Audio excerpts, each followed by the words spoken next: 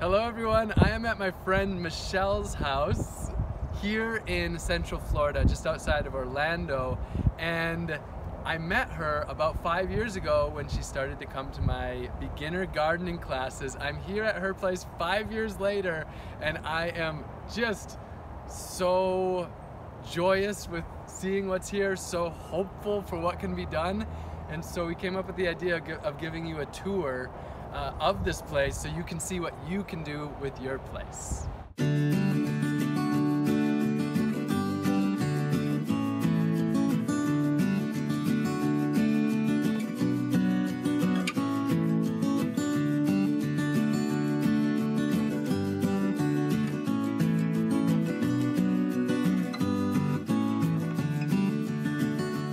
So I hadn't really gardened at all. We moved from Wisconsin to Florida in 2013.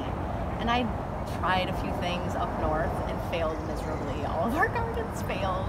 And when I moved down here, I just started slowly learning about all the food that you could grow. And this growing season is year round. So that's why I'm so excited to show you this place because hearing that and seeing what she's done here, I'm like a little bit blown away and I think you will be too. So let's start at the first bed you created. Yeah. So this was the first bed we created and this was after I spent time with Robin.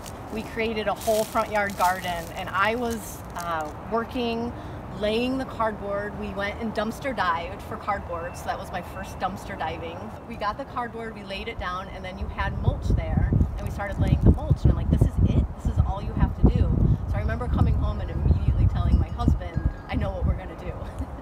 So, and you said that you have brought in how many loads of mulch? It's well over a hundred truckloads. A hundred truckloads of mulch, and you can see, like, this, how raised up we are, right? Yep. So, why do you put the mulch down? I put the mulch down, I've learned from Robin, uh, moisture. So the number one problem in Florida gardening, anything, is the sun is beating down on the soil, kind of killing it, and if you can put that nice mulch layer, it keeps the moisture in and the plants are just happier.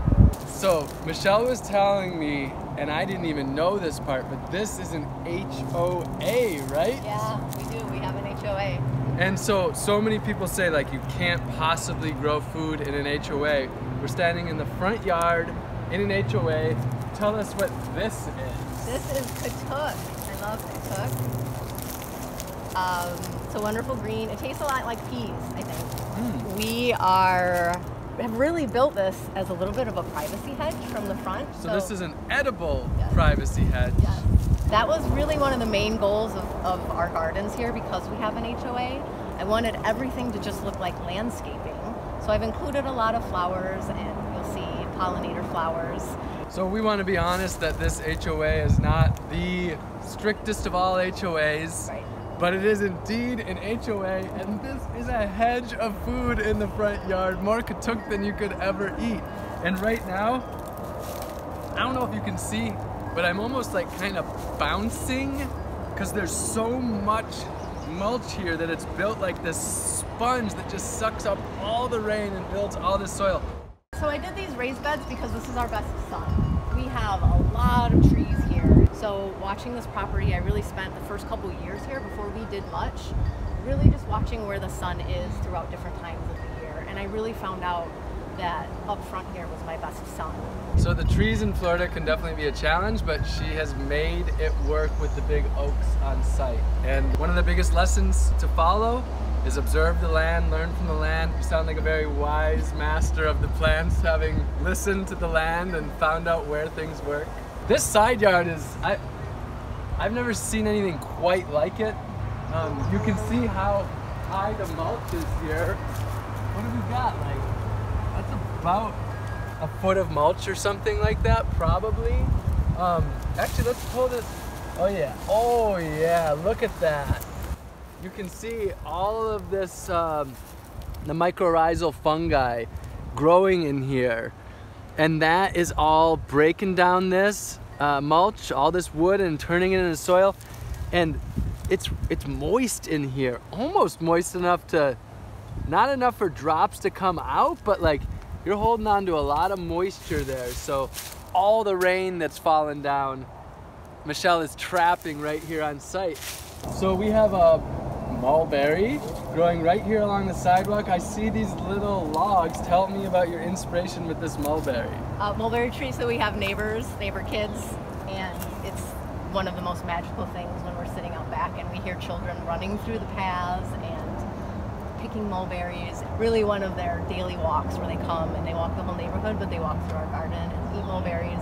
So anybody can come here and eat these mulberries. Yeah, yeah, yeah. Nice. And how old is this tree? I would estimate. I think it's three years old. Right here, we're on this giant hedge of katuk, a food that can be considered a superfood. And so I'd love to hear about how you ended up hearing about my first class and some of what you learned from it. Yes, I, I believe I followed you on Facebook, and I must have seen an event to come out and help at your front yard garden at Sarah's. So that's when I first met you. And then your Central Florida guide that you created, that was very helpful in just getting started and knowing what works well, where to go, who to ask, and then also the Orlando Permaculture Club. Mm, That is yeah. a wealth of knowledge. Yes, Orlando Permaculture is basically like one of the main reasons I ended up moving to Orlando to do my year of growing and foraging all my food. So you learned the things in class, and then you went home and you did the things. I did the things. Yeah, really seeing that front yard garden that you did, seeing how easy it was to, you don't even have to rip up the grass. Lay the cardboard down, put the mulch on top, and it's going to create soil, and you can see how quickly it creates the soil. A lot of the plants that are thriving are the plants that are easy to grow and produce a lot of food. Yes. Have you been focusing on some of those plants? Yeah, definitely focusing on things that I like to eat, that our family likes to eat, and then that are the easiest and need the least amount of care. Sweet potatoes are definitely one of those yeah, here in yeah. Florida.